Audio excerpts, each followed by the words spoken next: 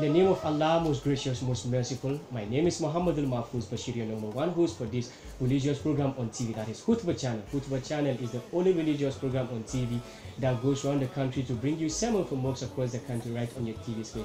And inshallah, today we are having one of the exclusive editions of this program. So our journey has brought us to the garden city of Kumasi, and we are at the premises of one of the renowned Muslim clerics of this country. He's no other than a Sheikh Abdul Wadud Zain Sise Zamani. Ina kwana malam? a lafiya alhamdulillah Mun sami ku lafiya Da mun gode sosai. Mahfuz. Masha Allah, gode sosai. Muna neman mu sani daga bakin shehu wane ne shehu? ala ayi halin ni ne abdulwadudi harun an haife ni a nan kumasi kuma a hannun uwa da uba na tasa kuma a hannunsu. Na kuma yi ɗalibci a hannunsu. Takriban na tunanin in kana neman date din haihuwa na oktobar ne 12 oktobar a 1953 zuwa 54 na jin haihuwan kenan. Kuma na tasa a tarbiyyar uwa da uba na yi ɗalibci kuma a hannun ubana. Na'am. A malam so da yawa kuma muna ji labarin shehu na karantu- eh, karatun yara da ba su haka. Ma mun zo da muka shigo gidan nan mun ga wani abin ban mamaki. An gwada mana tashan karatu daban-daban sun wuce kirgawa. Ta kaka me ya zo ne ka haddasa wannan abu a cikin gida ne? Falillahi alhamdu wa shukur. Ala ayi hali na tasa kan tarbiyya na makaranta. Na tasa a gidan makaranta. Na tadda tsoho baya da wani sana'a she makaranta. Tun wannan abin kamar yadda imamu gazali ya nuna mutum duka yana tasawa kan tarbiyya uku. Kana tasawa kan renon uwanka da ubanka kana tasawa kan reno na malaminka wanda aka ɗauke ka aka ba ya nuna ma karatu kana tasawa kuma kan reno na yanayin unguwanku. To na tashi wanga yanayi uku duka karatu ne. Tun wanga lokacin tashin shauƙin batun makaranta yaya za a yi a ba yara ilimi yaya za a yi a taimaki yara matasa kuma kowane fanni ya zauna cikin ƙahon zuciya. Shi yasa in ka ga wanga abin yanzu ba yanzu ne ya faru ba. Masdari ne tun tashi na abin da na taso kai kenan. Na tadda gidanmu gidan makaranta ne ubana malami ne karantarwa yake yi.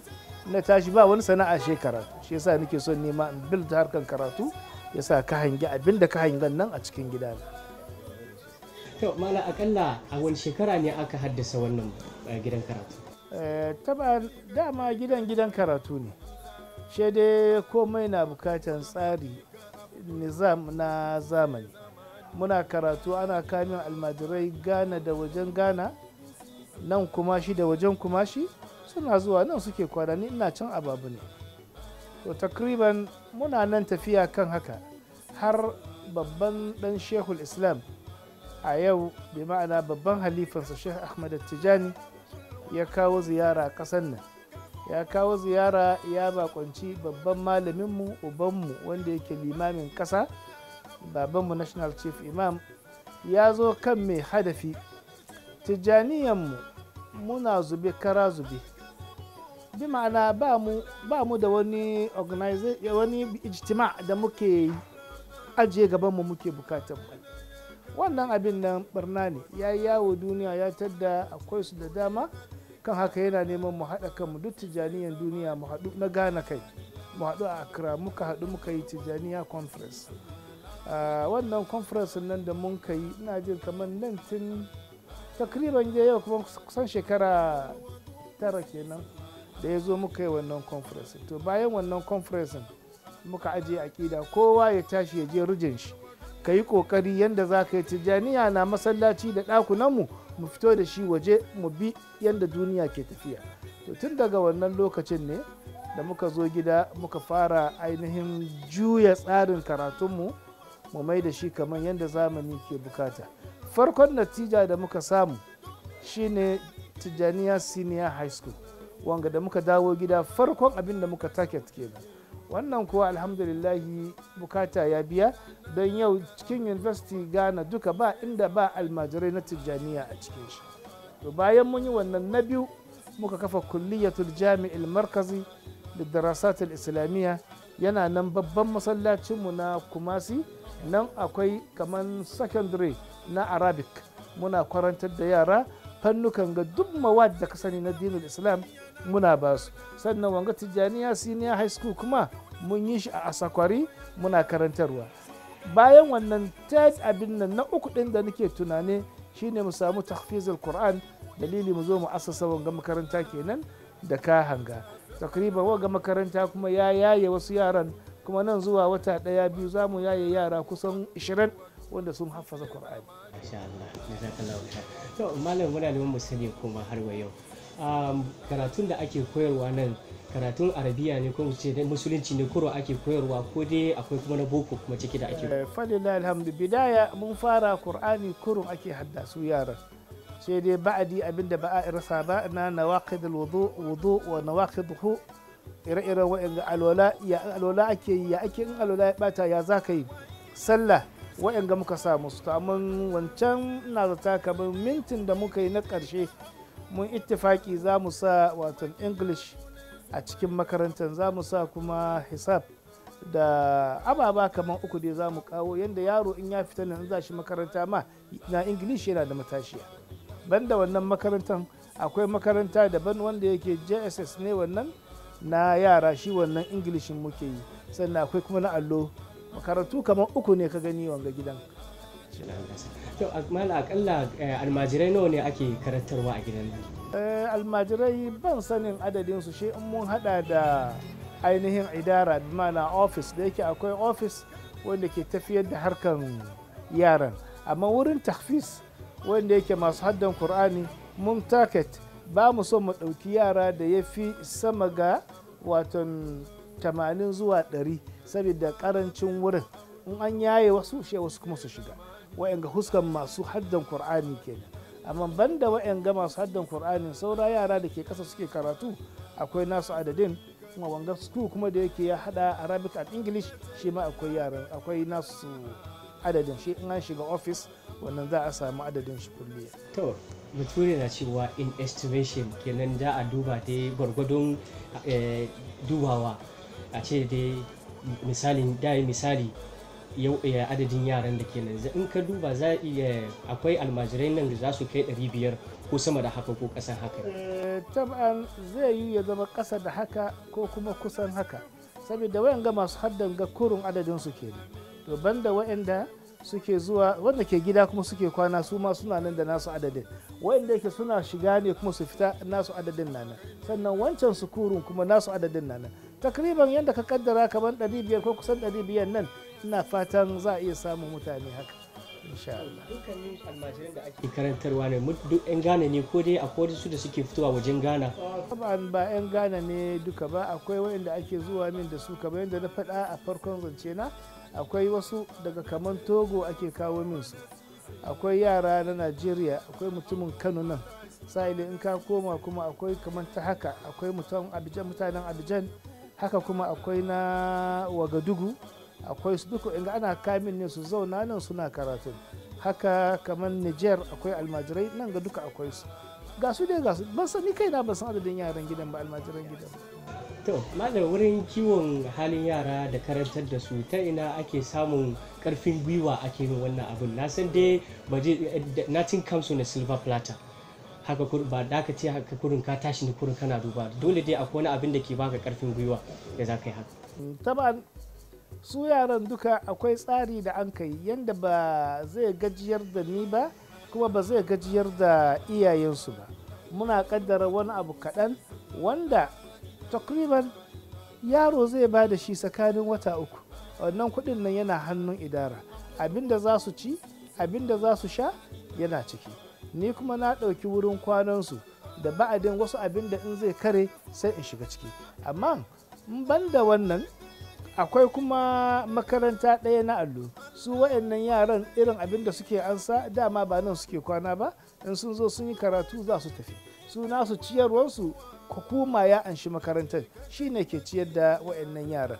Sannan akwai yanki kuma ɓangare wayanda yake ba ingilishin suke yi ba arabic suke yi ba. Su dai suna zaune ne suna koyon karatu na addini. Ni kuma na ɗauki wannan nauyin ni ne ke ciyar da su. Wanga shi ne abin da sana'an da muka ya Allah sosai sosai Allah ya ƙara ƙarfin gwiwa malam. Mun gode sosai. To a kai magana kaman hukuma gwamnatin ƙasa yana taimako. Wani taimako ne da wani taimako yake kawowa ne a makarantar nan? Ba wani taimako ne da ya taka kara ya karya ba to amma kuma yana amfani. Huskan abinci sukan kawo abinci wanda ake raba ma yara kamar yadda ake raba ma wasu sukuru. Sannan bayan ka kuma kamar huskan kujera sukan iya taimakawa gwargwado. Mu kuma makaranta abin da muka tara abin da ya sauran mun biya teachers mun biya wakes sauran na mukan kuma taimaki makaranta da shi. Yasa yanzu kenan in ka in aka ce ba ko teku ne ma yana neman ƙari. Sa wannan wanga zai zama wannan a big opportunity to appeal to the government. Ya zo ya kawo gwargwadon taimako saboda a iya a yi aikin sa yanzu. Ka yi magana gwamnatin gane ayi halin muna bukatan taimako saboda iyayen yaran wani lokaci sukan gajiya. Kasan sha'anin yau da kullum. Nauyin duka sai ya komo kai ni kuma ba mai zama ba ne.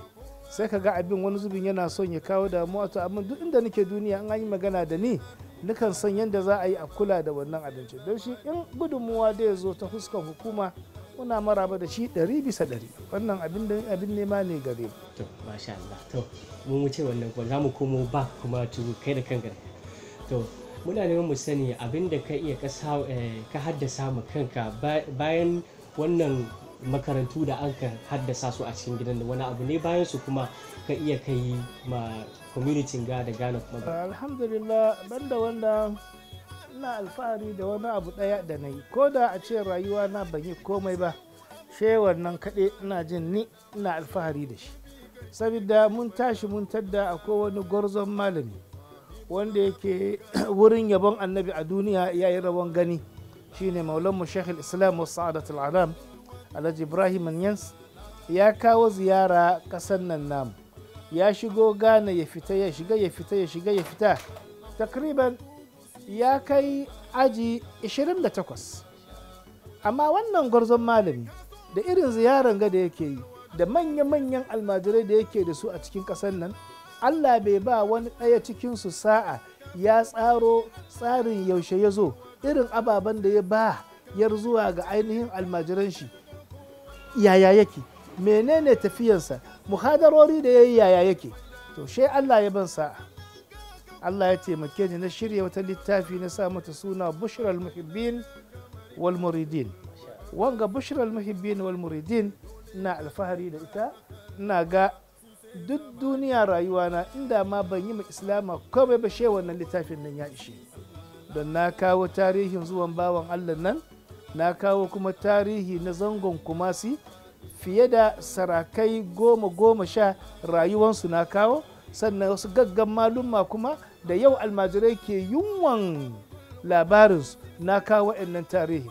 Har ya kai university na ƙasanmu da wani ƙasa suna gayyata na bi ma'ana suna nema na a kan wasutan telefon da wasu shi suna neman bayani kan wannan littafin nan da na buga. Kuma batun da za a yi batuna wato 'yan ɗariƙan tijjaniya na ƙasar ghana baki ɗaya an fidda ainihin shek tijjani halifan shek ibrahim da ainihin malamin murtaniya ɗaya sun fidda wakili sun tura shi duniya ya yawata ya tara labaran shehu ibrahim ya yawata ya shigo ghana alhamdulillah ya gaya mini wato abin da ya samu a guna a cikin littafin nan ya shiga fiye da gari ɗari bai samu wannan abin ba kan haka ya gode wa Allah. Zuwan shiga da samun wannan littafi shi ya hutar da shi wani wahala. Kuma ya ce tun yana wajen gana aka ce mai abin da yake neman nan ya haɗu da malamin malin salisu sha'aban a togo. Ya ce in ya zo gana sai dai ya neme ni. Wurina ne zai nemi wannan abin. Kuma national chief imam da ya zo ya ce a ya taso ya zo nan ne zai samu wannan abin. Me ya kawo haka? Na tashi na tadda wannan ababen da na jama'an nan aksarinsu da yake bayyanan shehu ibrahim a ghana babana shine alkalaminsa duk abin da aka yi shi ke zana. Ta wanga hanyar na samu wasu asrar da yawa da wani na bai da su. To ire-iren wa'anga da tarihin malumman nan na tattara shi a cikin littafin. Shi yasa almajirai university kullum suna zuwa suna son littafin don su samu karuwa ciki. Wannan kada ya ishe ni. Banda ababa da yawa da na yi eh mun ga wannan littafi da ya zama abin alfahari ba ga kai kaɗai ba ga mu duka al'ummar musulmin ghana gaba ɗaya tunda ana buga alfahari wanda an ka ce zai lomo abubuwa haka na shehu ibrahim da mai shi ne ya zo ya ce wai kaman abin da ya samu ya shiga gari dubu gari ɗari bai samu ba. Sai ma mu je waje gane kenan sai mu ce ai garin mu ga abin da an ka samu. To mun gode sosai. To yanzu ina neman in sani wani abu ne ya baka ƙarfin gwiwa ya motivating ka ka rubuta wannan littafi alhamdulillah waton abin da ya ja hankali na zuwa ga littafin. Ni na tashi na gaya ma gidan karatu na tashi kuma na tashi ina alfahari gidanmu nan inda batu ne na tijjaniya ko batu na shehu ibrahim a ƙasar ghana. Gidan nan da na tashi in bai zama farko ba bai zama na biyu. Kuma na tadda ababa da yawa gidan nan namu in dai abu ne da ya shafi ɗariƙa tijjaniya ko faidanmu na shehu ibrahim gidan nan namu falila alhamdu gaba gaba yake. Saboda bayanan shehu ibrahim a duniyan ghana ya yi amfani da wasu gaggan malumma shida. Wayan ga gaggan malumma shida ukun ga duka gidana ne. To zaman abin nan haka shi yasa ina da wasu ma'lumatin da allahu a'lam wani na bai da shi yanzu. Me ya kawo haka? Ba ni ne na tara ba. Iyaye ne suka tara da yake na himman karanta su. Shi ya zama yaro iri na da yawa bai san wannan abin ba yau. Shi dai a baka tarihi na karya a ɗauko ƙarare ana shigowa da shi. Ni ga abu na gani an zana wanda aka yi da shi shine ya zana. Ga alƙalamin shi ga sigiran shi amma sai ka ji wani magana daban saɓanin wannan. Ire-iren wanga na gansu da yawa. Ashe tun da iyaye sun ƙare ba su zana ba. In ban yi ƙoƙari na zana ire-iren waɗanga ababa cikin littafin nan ba in ni kuma na mutu abin nan ya wis ƙarya ya shigo cikin harkar to dalili kenan da na ga duk abin da nake da shi in bari. Na kulle kaina kusan watanni biyu uku na sa hadimi ba mai shiga wurina har na iya na jama'a wannan abin. Wannan abin da ya kai ni zuwa ga yin littafin kenan na ga ɗariƙanmu na ghana hasatan failanmu na ghana ƙarya ya shigo ciki da yawa. Kuma ababen da ake ƙarya kan nan ni ina da takardu mu shafa hatan waɗanda yake ya ratsa tsakanin su su ne aka yi da su. To ashe haƙina ne in ban fito na zana wannan abin ba eh na ci amanan mutane. Wanga amana na ilmiyan dalili kenan da na tsaya na zana wannan littafi.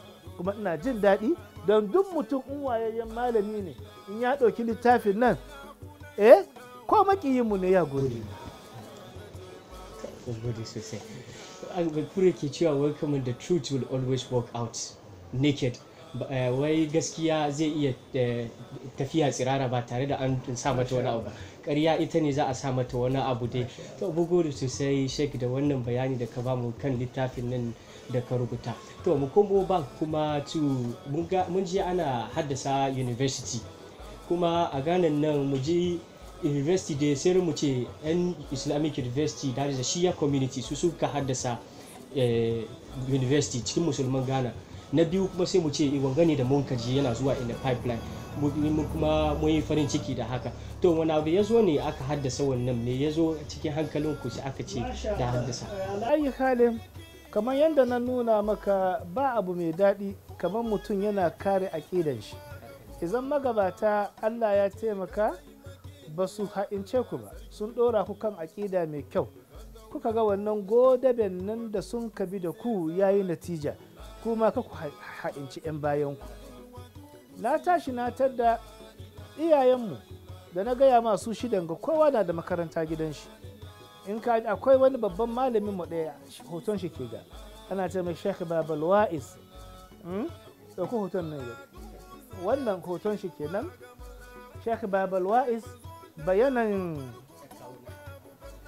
shehu ibrahim a duniyan ghana wannan ɗayan gwaraza ne gwarzo ne namiji ne ya yi aiki cikin failan shehu ibrahim. Har ya zama shine turjumanin sheikh. Abinda duk shehu ke faɗa a cikin ghana da ya bayyana yana faɗa da arabiya shine ke ɗauka yana gaya wa mutane da harshen nan na da za su fahimta. Wanga ɗaya ne cikin malumma shidan na biyunsu shine babana. Ga hoton shi ja ja kujerar nan ya ɗauka ya shi ne babana alhaji haruna muhammad tijani. Shi ne kuma alƙalamin nan na faila.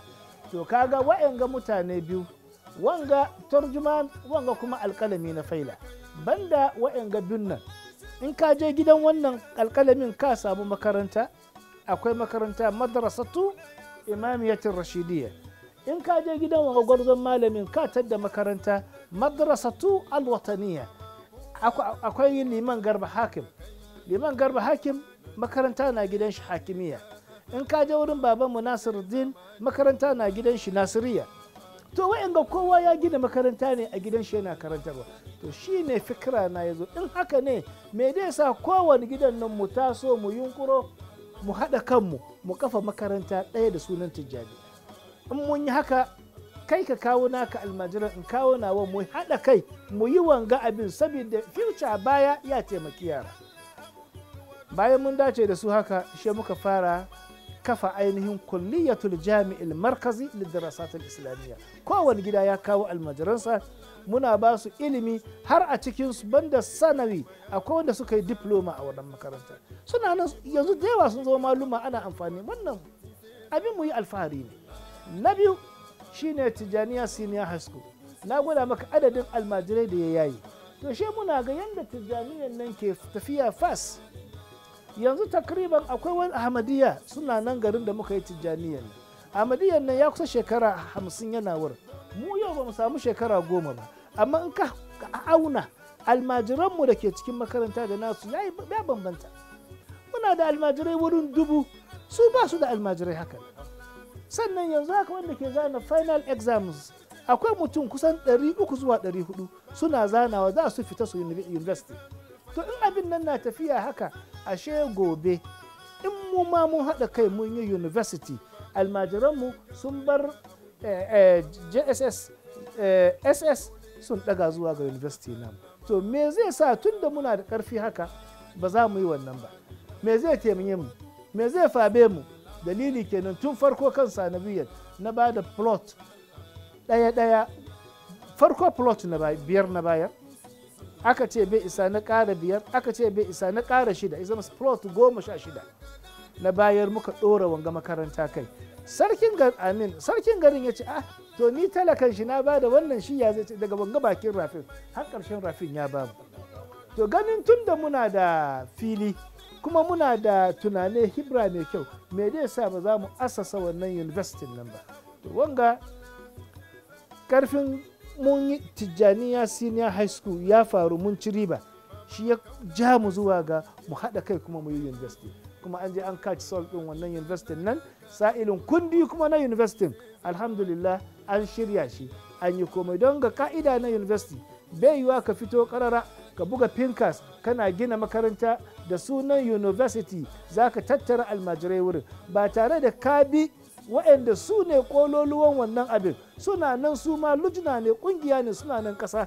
Ka sanar da su menene manufanka wani fannuka za ka karantar yaya kake so ka karantar? In ka gwada musu ra'ayinka su ma da su karanta su amayo maka wuri kaza i kaza wuri kaza i kaza. To alhamdulillah mun riga mun gan su fannuka ne guda huɗu za mu karantar a yonan university mun ba su. An zana an yi komai da su mun gama da su yanzu. Yanzu disiya ne muna da arziki gwargwado wanda za mu yi ko da one classroom da za a buɗe wannan university ne in kaga mun ce za mu yi university dama manufan mu ke da tun last year mun yi wannan abin to wa'anga suka dile mu. Su kuma this year mun gama da su. Allah saka. To tijaniya dai ya yaɗu gane duk baki ɗaya ko ta ina ba lungun gane za ka shiga ka ce babu tijaniya to jami'an gada an ka haddasa. Shin mutanen kuma su ne kurin sun ka haddasa ko duk bakin gane tijaniyan duk bakin gane gaba ɗaya ne sun ka zo sun ka haddasa wannan abu ne? Alhamdulillah. Na ce maka da zan tsaya in ce a shanti mu muka yi wanga aiki. Amma bal ne haka ban yi adalci ba. Saboda kowane wata uku tijjaniyan gane duka muna haɗuwa muna ɗaukan shawarwari gana baki ɗaya. Kuma wa'anga ababa da mun yi na ile book kundin nan da mun yi ba kuma shukurun ne ta tattara kuɗin da aka yi wanga abin ba. Gane baki ɗaya ne ta tattara wannan kuɗi da an kai kuma har yau planin mu mun fara wanga aikin kamar akwai occasion da yawa da muke zuwa mukan anshi kuɗi. Wannan kuɗin nan kuma ba mutanen kuma shi kurun ba ne kana samun rajin gane duka suna haɗuwa. In mun samu ire-iren wannan shine muke karawa kamar haliyan yanzu haka har america ya sunan ƙasar nan europe an aiko min da 40 million yanzu haka yana hannu.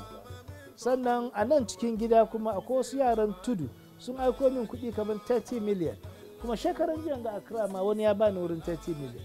To wayan ga duka dai ana te shi ta hannu ne ko ta ina ana neman a taimaka dai Allah ya tabbatar da yasa ba kuma shukurun ba ne amma nauyin abin in ka a gani da yake ni mazaunin kuma shi ne shi yasa kake ji kaman kuma shi a amma harka ne na gane baki da da jagorancin babban malamin mu shine limamin kasa to yanzu da mu shigo ta fannin sha'anin kasa kuma.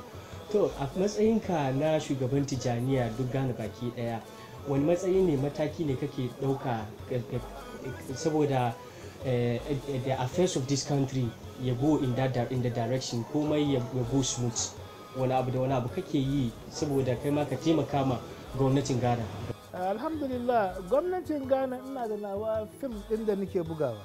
Da yake mu na tijjaniya ƙungiya ce babba kamar yadda ka faɗa a ƙasa. Kuma ƙungiya ne wanda ya jamma a kowa da kowa. Akwai ndc akwai npp gasu gasu kowa na cikin ƙungiyar nan. To zaman kowa na cikin ƙungiyar nan yasa ni kuma sai na kula da haƙƙin kowa. Ba siyasa ya haɗa mu ba addini ya haɗa mu. To menene za mu yi ɗaya? Ya tanye mu ya tanyi kuma shugaban nan. Ba kaman karatu. Shi yasa nake jan hankalin duka su zo in mun yi karatu. Kuma karatu ina ce ma karatu ba ina nufi da shi in arabiya kurun ba a'a karatu mu yi ta english ne arabic ne kowanne mu yi ta. A yi kuma sosai. In mun yi wannan karatun nan yana yi wa a wayi gari ɗaya cikin kunga shine shugaban ƙasa. Wannan baya da mamaki. Kan haka ina fata namu taimakon da muka ga mu iya mu yi mana sauƙi mu taimaki ƙasanmu mu taimaki iyalinmu mu taimaki shugabanmu. Ba kamar mu ba yaranmu ilimi. Saboda kai da ka ba yaro ilimi ka ba wato jama'a ne baki ɗaya balle ma ya mace. Kai da duk ka ba ya mace ilimi kamar ka ba al'umma ne ilimi. Wannan shi yasa mu muka kama harka. Yanzu duniyan nan da muke ciki 'yan terrorism 'yan fashin bakin wake ko ta hanya za ka bi mutane suna amfani da suna addini suna bata addini suna suna wani abin da bai dace ba. Wani abu ne kake da shi zaka gaya ma mutanen da suke haka saboda their own selfish interests? Alayi halin zance na zuwa ga mutane wanda duk kaga ya ce shi musulmi ne amma yana tare da ga mutane. Musuluncin shi ba mai kyau ba saboda shugabanmu shine annabi muhammad sallallahu alaihi wasallam. Kuma a duniya baki ɗaya an bincika ba shugaba mai neman zaman lafiya kamar wa? Kamar rasulullah sallallahu alaihi to yaya za ka ce kai kana addinin shi amma manufanka ya saba da nashi manufan sa'ilin wanga addini namu kuma bidayatan ya sunan shi al-islam peace. Dan shi duniya ma annabi sallallahu alaihi wa alihi wa sallam bayanan annabi a duniya akwai kamar mata haka. Mata gabanin bayanan annabi ana tunanin mace mutum ne? In ma mutum ne shaidaniya ne? A mace ya kyautu ai zama da ita. Riguna addinan duniya sun sa wa mace wani riguna rigan da bai kyautu a ce an sa wa mutum ba. Bayanan annabi a duniya ne ya faɗi wata kalma ɗaya. Kalman nan shi ya ba matan duniya duka inci. Shine annisa shaqa'ikur rijal. Wanga kalma na annabi bi ma'ana mace kamar tsagin jikinka ne. Ka rayu ba da tsagin jikinka ba? Wanga kalman ya sa masu hankali masu ilimi sun komo da baya sun fahimci manufansu na danna barna ne har suna tattalin mace har a samu human right a duniya. Fadin annabi ne ya kawo sannan banda wannan annabi muhammad sallallahu alaihi wa alihi wa sallam yana gudun haka daidai da haƙƙin ya ce ko da kaza ne ka ba ta haƙƙinta balle ɗan mutum. To yaya za ka sa bom? Eh wai don kishin addini jikinka ka je ka kashe wani. Wanda za ka kashe nan ka sani shi kake buƙata ko ba shi ba ne? Hakan haka islama ya bari ya yi bari ya yi tabarru'i ga buran ire-iren wa'yan ga mutane. Sai sa duk wanda ke kan wanga aƙida ba aƙida mu ba ne balle ma mu sufayi mu dai mun yarda mu kire ka kan hadisin annabi sallallahu alaihi wasallam mu kira ka in ka bi to mu samu lada. In baka bi ba mu yi tabarru'i da wannan shine abin da zan gama don duk wani mai kunan bakin wake ba dan islama ne mai kyau ba. Kuma shi da annabi suna da shari'a insha to uh, inda ake samu wannan mugun uh, tunani wani ya je sa bomba jikin shi ya je tarwase a wani wuri shine a makarantu. Sabili da ana shakuwa da mutane daban-daban wani abu ne aka uh, kuka haddasa cikin makarantayyanku cewa dai ba za ku bari wannan abin na terrorism ya faru a cikin garin cikin makarantayen da ake haddasawa yanzu. Saboda a sama yara ra'ayi mai kyau cewa dai kamar wannan hanyar terrorism nan ba mai kyau ba ne wanda abu ne aka haddasa? Cikin mawadin na dinin islam da mun aje malumma waɗanda yake sun karantu a huska biyu duka. Sun san arabiyan sun san kuma ingilishin kuma sun karanci arabiyan bidakka ire-iren wanga abin da ka nuna ga yana cikin zama da ake yin shi. Harij har musulman da kahuran duka muna da ainihin taro da ake yi ana waye musu kai kan wanga abin da ake jefa wa islama ba musulunci ba yana cikin wannan mu yana cikin ababen da ake karantarwa a makaranta namu na tijjaniya. Akwai wasu ranaku wanda yake ba ranar karatu ba ne. Akwai awes da aka fitar don a rinka magance ire-iren wa'yan ababen. Yana cikin abin da muka shawarta ma duk almajiri hasa in zai fito kamar wani kasan waje ne bai yiwuwa ya shigo kai tsaye. She in mun kokarta mun bar ya bi ta huskan hukuma an bincike shi an san da shi an san da inda ya fito sannan makaranta mu ɗauke shi don gudun ire-iren wa'yanga masayi. last question mu shine aka ce wai in an tattaro wuri ɗaya kamar tsintsiya ne sai mu yi abin da mutum guda ba zai iya yi ba. To akalla zamantakewar musulmin ghana nan baki ɗaya. Musulmin ghana sai mu cewa ba mu da haɗin kai. Wannan ya kama wannan wannan ya kama wannan wannan ya kama wannan. A matsayinka na shugaban tijaniya duk baki ɗaya wani mataki ne kake ɗauka saboda sabili da a hada dukkan musulmin gane duk baki ɗaya ba ba ruwan kai dan tijaniya ne kai dan shiya ne ko kai matukan dai kana musulmin gana duka a hada mu tare. Alhamdulillah wannan mataki ya jima tuni muna yi sai dai lakin bai yiwa ka samu kowa kamar yadda kake so. Amma muna da wanga shirye-shiryen in ka lura ka ga muna da ramadan conference da muke yi. Wanga ramadan conference an kirkire shi ne don ya haɗa mana kan musulman ƙasa baki ɗaya. Falillahi alhamdu kowane shekara kuma ana irin wanga zama kamar su biyu kuma yana amfani don abin da ya shafi ganin watanmu ya zama baki ya haɗe. Abin da ya shafi ibadanmu da za mu yi na sallah ya zama baki ya haɗe. Wannan in ba ka nemi kowa ya bar aƙidan shi zo a zauna a haɗe ba yaya za ka samu wanga natija?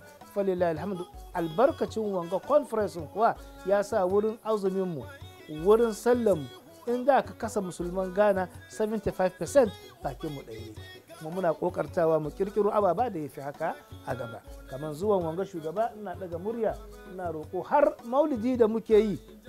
Ba mu ne mu soyayyen annabi ne muke yi. Ba mu kada kuma ke yin maulidi ba. Eh mu ce mu yan ɗarika ko sufaye. Har yau saudiya ma sun yarda maulidi abu ne mai kyau. To ta wannan wasitan ma na daga murya zuwa ga yana yiwa mu samu ranar goma sha biyu nan ya zama holiday ne ga musulman ghana. Na fatan haka insha Allah. Mu fara wannan zancen. To mun gode. To cikin minti ɗaya akwai wani abin da maybe yakan zo ba ka faɗa ba. Za ka iya faɗi cikin minti ɗaya saboda lokaci ya yi halin. taban abin da zan faɗi ne kamar makaranta da kace university ne yana yiwa ba mu kaɗai ne za mu yi amfani da shi ba. Kamar ka hangi abin da ke faruwa yanzu ne.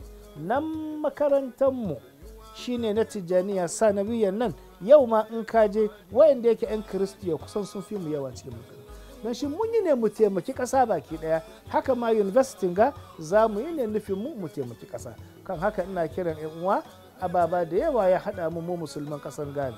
Gashi ƙasan mu ɗaya bayan ƙasan mu ɗaya addinin mu ɗaya annabin mu ɗaya Allah mu ɗaya. Kama bar wani abu kaɗan ya zo ya ɓata wa'yan zamantakewa da haɗa mu. Haka na nasiha zuwa ga kaina na nasiha zuwa ga 'yan uwa musulmai mu zauna lafiya. Mu zauna lafiya ƙasa. Zaman lafiyan nan shi zai sa komai yayi kyau. Amma in ba zaman lafiya fitina na ƙasa wannan duk abin da aka shirya bai yiwuwa ya samu. Wannan shine iya abin da zan ja hankali na da hankalin masu saulara na zuwa ga peace. Musulunci mu sunan shi kenan al-islam. Ma'ana peace. Allah ya zaunar da mu lafiya. Kuma da kokarta ka ɗauka mu inga labaran. Allah ya biya bukatunku Allah ya taimake ku. Inda duk ake fata na alheri Allah ya yi. Yake ga lokacin sallar juma'a ya kai kuma za ku je ku ɗauki kuɗi ba. Ba zan nemi in zance fiye da wannan ba. Sai kuma wani lokaci ya kai mu sake insha Allah. Gode sai Allah ya saka da kai sifin wassalamu ala mursalin walhamdulillahi rabbil alamin.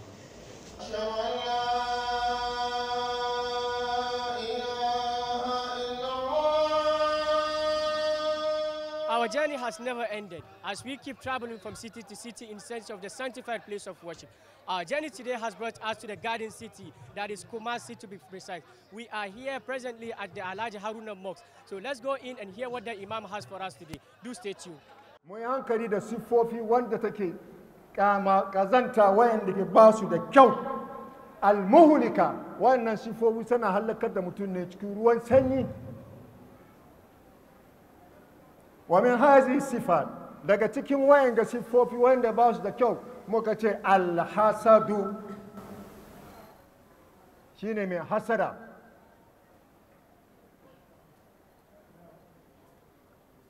Alhasada abin da ake ce mahanusa min amradil qalbi yana cikin shuruta wanda yake na zuciya ne. Cikin zuciya eh, hasada yake so ma mazaunin shi kenan. Saboda kazantansa da rashin kyan da muhimmancin allah madaukakin sarki ya hori annabin shi nemi tsari da ita saukar da aya ɗungurungu. Shine suratul falak da muka karanta. Kula a'udhu bil falak min sharri ma khalaq. Shay'a al khas ba'da am ba min sharri ma khalaq da dukkan halittan sharin da abin da Allah ya halitta. It means komi da komi kenan. Amma ana so a keɓe wayansu a yi maganan gasikin idza qaba wa min sharri nafasati fil ukad wa min sharri hasidi idza hasad shaka fidda wayansu a gwada muna wayannan abubuwa kuma bayan na ce ka ji sharrin ka kiyaye ka nemi tsari na da da cirran abin da na halitta amma wa'yan ga da nafta ka mayar da hankali kansu yau shi dare ba ize ba ne dare akwai ban tsoro saboda shi muke shiga mu kulle ɗakunanmu mai annabi sallallahu ta'ala alaihi wasallam ya ce ala tabbas lalle haka yake. Inna li niman la a'da. Niman Allah na da makiya. Sabon suka ji wani magana kuma sabuwa. Nima Allah Allah kuma da kowa ke buƙata a ce yana da makiya? Manhum ya rasulullah? Su wane ne? Masu makiya ni'iman Allah. Sha'anar ya ce allazina yuhasiduna nas ala mata ma'atan nas. Min fadli. Su ne masu hassada absa ni'iman da Allah ya yi ma wani. Na'am. Har dai Allah ya ba wa arziki ga ka kishi timis Allah ya yi mistake. Babban magana ne. Da ka hasara kai Allah ya kuskure. Inna lillahi wa inna ilaihi wanga furtawa da kai ya kamata kai ka tuba zuwa ga Allah. Muna gani kamar ruwa ne mai aiki sannu. Ka kama Allah mistake kenan bai daidai ba tun da bai baka ba. Saboda shi annabi yake muna wani magana. Ya ce kuma mu yi hankali alhasab ta'kulu alhasanar kama ta'kulu naru alhatab hasada da muke yi aikin kirkinmu da muke yi muna tara muna tara muna tarawa idan muka zo kana hasada kana hasada yana tafiyar da aikin nan je zagargaza kamar yadda busassun kirare za a sa. A bulga musu fetur an buga da ya fam ya gama haka hasada je cinye aikin kirkin Allah shi kiyaye mu. Abu kaza abu kaza abu kaza ke sa hasada. Na farko suka ce al'adawa wal bagda ba hada ashaddu asbab al-hasad. Kiyayya. An dai mutum bai son ka. To bai ko me kai bai ya hasadan ka wanga babban hasada kenan wanga hasada ashaddu hasadul kuffar kenan ala nabiyina muhammad sallallahu ta'ala alaihi wasallam hasadan da kahure kenan suke ma annabi mustafa sallallahu ta'ala alaihi wasallam a ta'azzuz wal magalatu min al-khalq shi ne me? Muna unguwa kai ba sarki ba ne kai ba malami ba ne kai ba attajiri ba ne sai muna girmama ka dai. A zaki zaki zaki zaki. Ana zuwa wurin ka shan atayi ana abin ga. Da zaran cikin masu zuwa wurin ka shan atayin nan da shi ma ya kafa dafa atayi an fara zama wurin shi. Ho in ba hankali kai ba. Kai ga kai me yake da shi? Da ba nan yake zuwa shan atayi ba. An yakuna al-insanu min al-mutakabbirin bi tabi'a wa huwa hasadu ra'i wal mar'a. Na uku abin da ke kawo hasada an yakuna al-insanu min al-mutakabbirin bi tabi'a sarki ne ya gaji sarauta gidansu malami ya gaji malanta gidansu mai kuɗi ne ya gaji kuɗi gidansu. Yana da wani matsayi da Allah ya bashi. Da ya zo in ba fare ne in yaron da yake aika ne in almajiri ne da fatan ya zo mai na gane karatu. Shi ma an fara jin maganar shi ana ai almajirin wani kaza.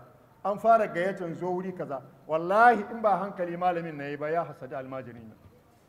Haka kuma mai kuɗin na me yake da shi? Ba na yake zuwa cin abinci ba. Haka sarauta ha, wane ne?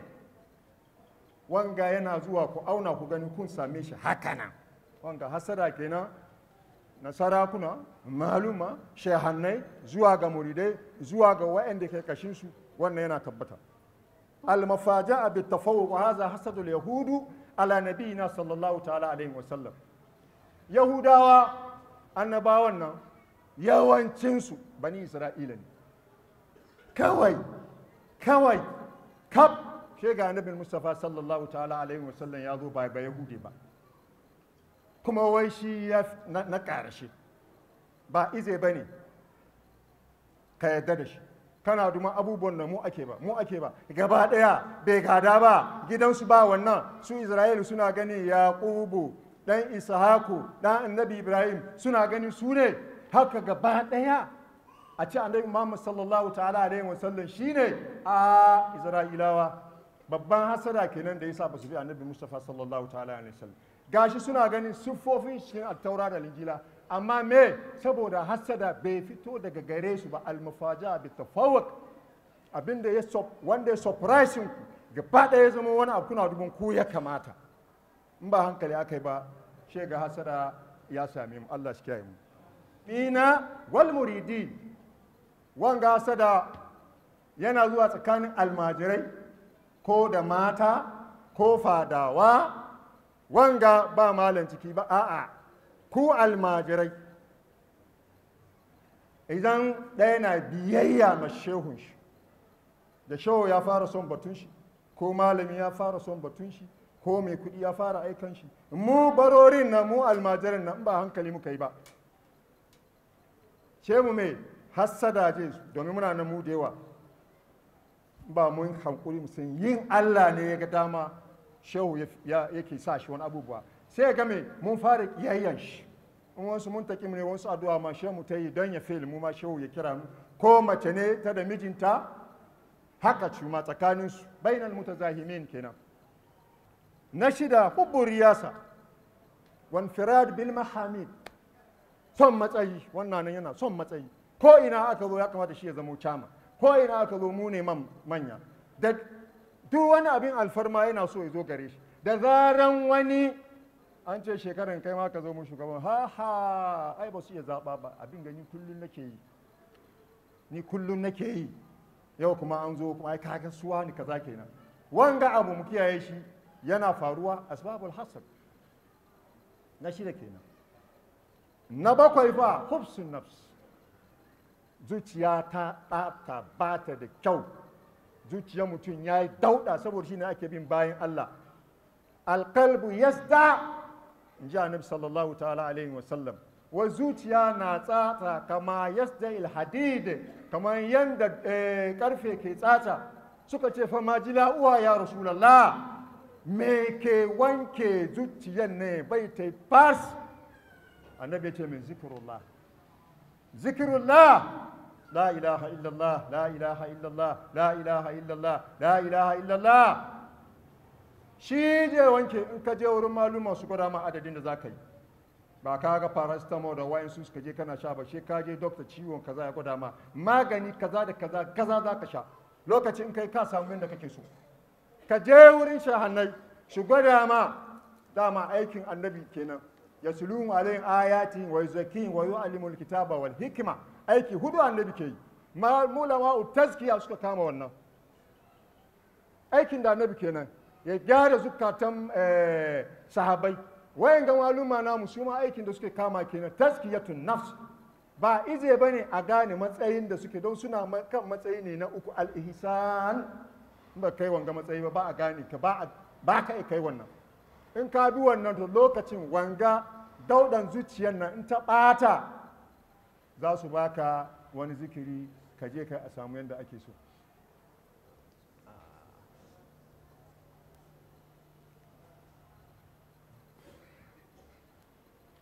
Ce ya mu bayan Allah hasada ya rabu kashi uku. Wancan mun ga da sabubban abubuwan da ke sa hasada ya zo. Amma sai jama wanda ya gwada mana daraja uku ne akwai 1 2 3 na farko shine mai wai mutum hasadan shi ya ja shi yana fata loren da wani kaza ya samu. Allah ya damarar da wannan lori ko da ni ban samu ba. Inna lillahi. Kuma bai ko da shi bai samu wannan lori ba. Allah ya damar ko abin da wani kaza ya samu Allah bata abin nan ko da ni ban samu ba. Number one kenan cikin sharin hasada.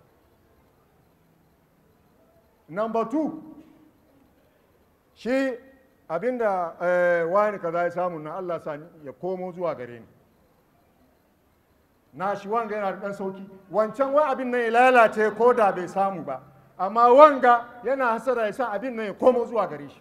Kaga wanga na da sauƙi na uku wanda maluma suka ce wannan ba hasada ba ne gift. Ya nema abin da Allah ya ba malam yati na daraja da ilimi da matsayi da kuɗi da menene. Allah nima ka bani irin wanda ka bashi ba kana hassada na a'a Allah ƙara mai nima ka bani wani irin nawa.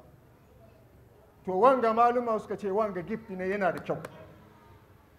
Ba ka nemi Allah damarar da nashi ba ne a'a kana fata ne ka ji daɗi abin da Allah ya bashi ne ya ce Allah kai ma ya taimake ka samu wani. Kuma wani ma suka ce a'a kada ka ce irin lorin malam yatin nan a'a la'alla ba haka Allah ya shirya ya baka ba. Yana yiwa in Allah ya bashi lankurusa ne la'alla akwai wanda ya fi lankurusa shi Allah ya niyan ya baka. Shi ka ce Allah ya baka irin nashi. A'a maluma kai kai haka. Kai dai Allah ya bani lori. Yanda su malam suka samu Allah kara musu mu Allah ba mu. Wanga maluma suka ce gift wannan ba a ce mai hasada. Ma'asiyatu ita ce farkon sabo da aka saɓi Allah da aka yi duniya aka yi aka yi halitta. Na farko shaidan. Hasada. Ita ce farkon sabon Allah da aka yi. Na farko a bisa lokacin da aka kera annabi adam shaidan an gwada matsayin shi cikin aljanai. Yana da matsayi an gwada ina ne bai yi bautan Allah ba. Yana da post yana da matsayi a hadaran Allah. Sai ga ga wani irin cikin wannan muka karanta ga laka ni halakta ni min nar wa halakta min tin. Kaga asara ni da kai da wuta haske shi da laka je samu wanga matsayi har a zo a mai sujada. Kaga hasada ya kama shedan. Irin wayan da muka karanta kenan. Farkon ma'asiya kenan. Hasadan shaidan da ya yi ma annabi adam salam. Na biyu kuma wanda an kai a ƙasa farko shine hasadan habila da kabil ta wurin mata ga tsarin da yake. Wanga da ya gana ƙaruwan nashi tafi nashi kyau. Ha ha. Sheme shi hasada ya fara kama shi. Har ya je ya kai shi ya kashe dan uwan nashi. Saboda shi wayan ga wani ɗabi'a ne wanda yake bata da kyau kuma ba maganin shi. Sai me? Shi an bi bayan Allah.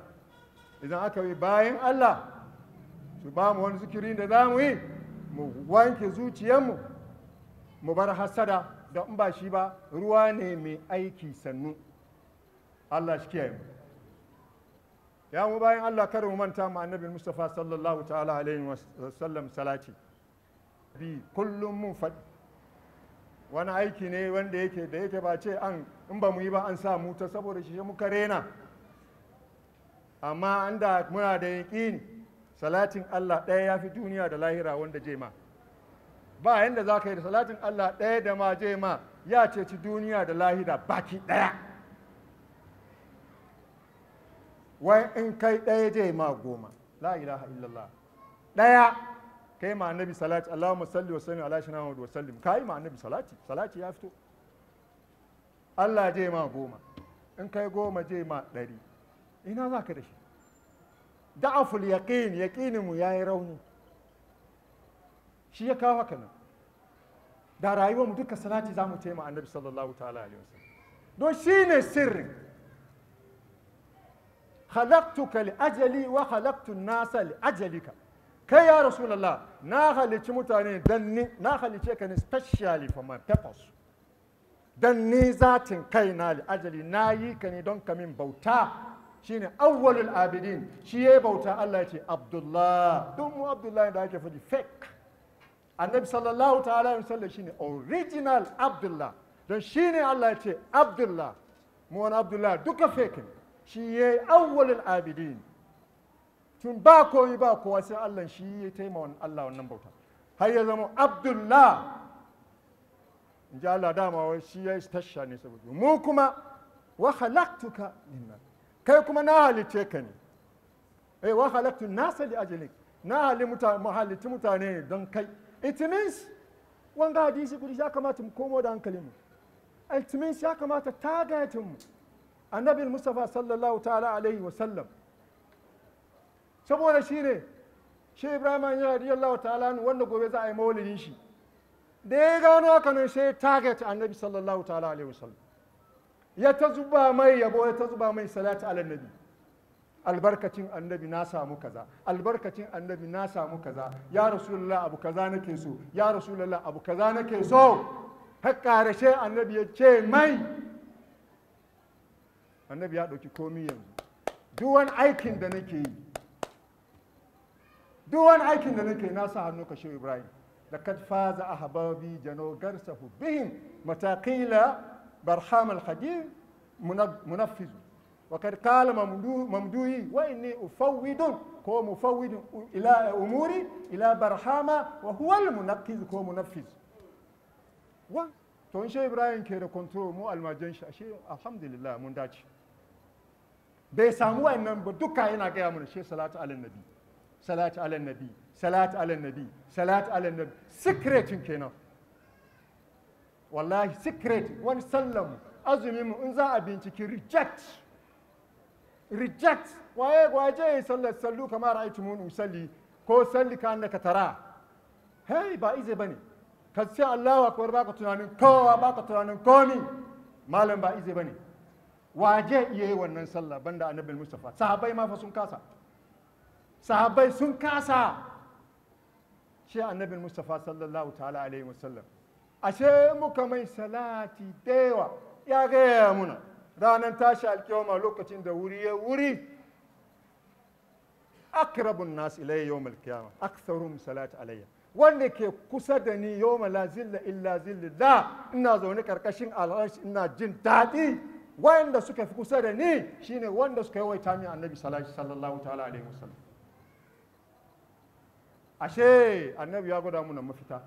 mu yawaita mai salati shi mu samu abin da muke so saboda shi اللهم صل على سيدنا محمد الفاتح لما أغلق والخاتم لما سبق ناصر الحق بالحق والهادي إلى صراطك المستقيم وعلى آله حق قدير ومقدار العظيم Allah albarkacin salati ala nabi Allah ji kan iyaye da kakanni da ke kiyama Allah albarkacin annabi Allah sa mu kare duniya lafiya mu kare cikin addinin musulunci Allah albarkacin annabi Allah ka kiyaye mu duk wani abin da muke tsoro.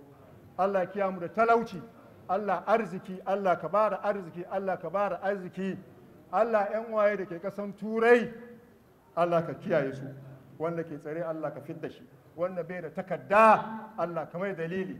Turai ya yi zafi ba aiki ga wani mahaukaci. Wawa ya zo shugabanci amerika yana da mutane. Allah ka fi shi Allah kai ka bayi sarauta. Allah ka kiyaye mutane mu ka sayan da za ka yi da shi. Nan ga gida kuma kowa sana'an shi Allah taimake shi.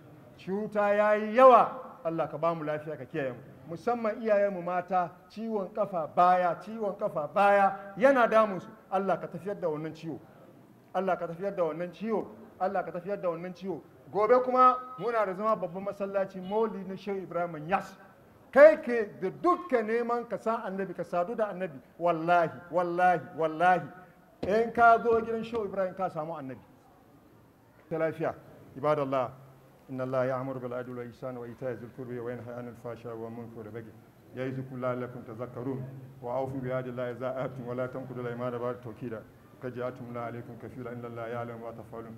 فاذكروا الله العظيم الجليل يذكركم واشكروا على نعمه يذركم. ولذكر الله أكبر الله يعلم ما تفعلون قوموا إلى صلاتكم يرحمكم الله وإن صلاتكم The khutbah sermon just ended, so we are out to interact with some of the attendants. So, Salaam alaikum, Mister. Wa alaikum assalam. Please, your name and where you're coming from. My name is Abdul Mu'in Alhaji Hudu. MashaAllah. Um, today's khutbah, what have you heard from the Imam? Yeah, the Imam talked about uh, hatred, which is hasada. And then it's a very uh, bad thing in Islam. Of what impact is this khutbah to you? How would you use to, to impact on your life? Yeah, this khutbah is very, very important because human beings, we are the same in this earth. Huh? Uh, Allah said in the Holy Quran that um, uh, the one who is better than you is the one who is pious amongst you. So we are all the same. Why should you envy what Allah has done for somebody?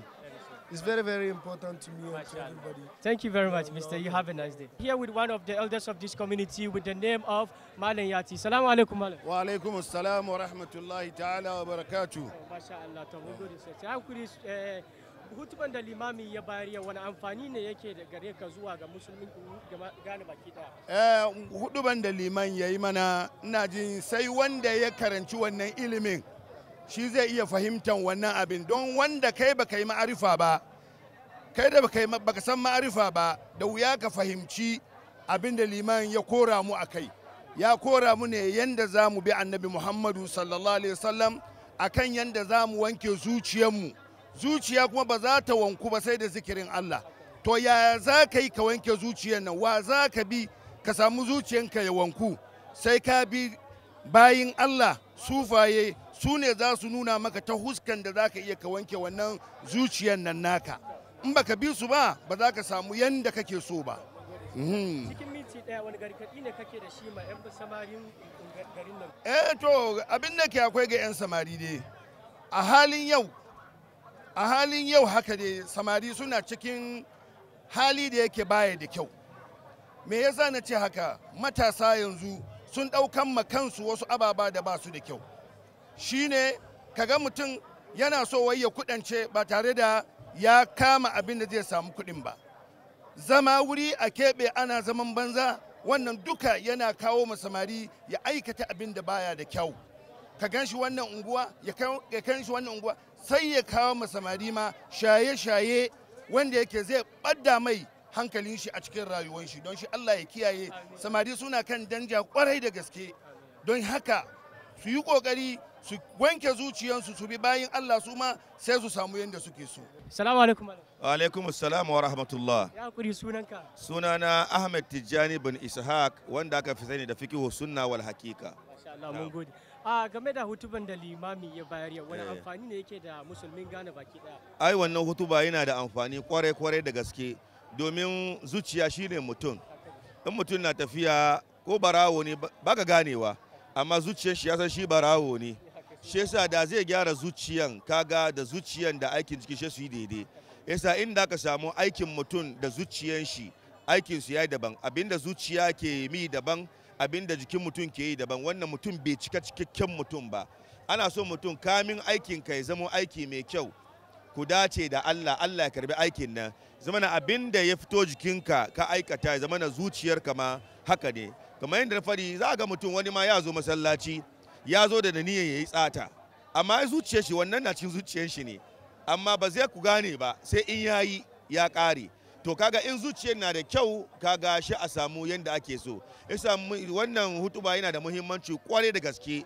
Annabi sallallahu alaihi wasallam yayi zance ban sani ko malamu yayi magana ya ce komai da komai cikin jikin mutum yana da abin da yake musamman zuciya wannan. Ya ce komi na dauda abin da ake gyara shi da shi shi da zikirin Allah. Amma ka kamar nan zuciya kenan annabi sallallahu alaihi wasallam yake zance akai ya kuri malam ina sunanka? Sunana Adamu Abubakar Anyas. Ana min lakami da gado nan la Khalifatullahi. Masha Allah mun gode. Allah ya saka. To game da hutuban da limami ya bayar yau wani amfani ne ka samu a ciki? Amfani da na samu shine ya karanta mana cewa salloli da muke yi kan mu dukufa kan sallan da muke yi. Sallan da muke yin nan akwai salloli da yawa an reject.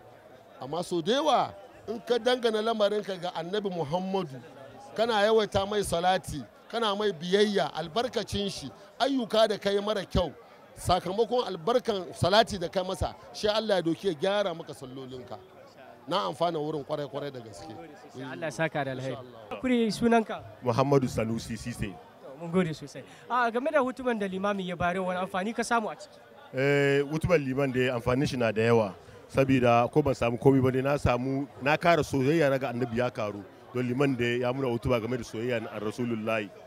Duk mutumin da yake ka dace kana son annabi wallahi ba za ka tabe ba duniya da kiyama. Da salatin annabi liman ya hore da taima annabi salati don salatin annabi na kai ga mutum ga wani matsayin da kai da kanka baka sani ba eh shi yasa alhamdulillah na dace da wannan Allah ya saka da alheri Alhamdulillah, you've heard the sermon, it just ended. It was an inspiring sermon from the Imam. And inshallah, we need to inculcate all that he has said into our life. This will take us forward, even in the presence of Allah, mashallah. So until we come again here next week, my name is Muhammad Al Mahfouz Bashir. You can get interactive with us on our Facebook page, that is Hukba channel, or catch the episode that you have missed on our YouTube page. Wassalamu alaikum wa rahmatullahi ta'ala wa barakatuh.